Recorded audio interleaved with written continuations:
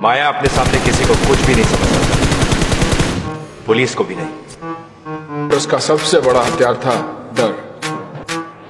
और माया बन गया बॉम्बे में भाई का टॉप जनरल अब उनका धंधा डर पे चलता है। सिर्फ़ डर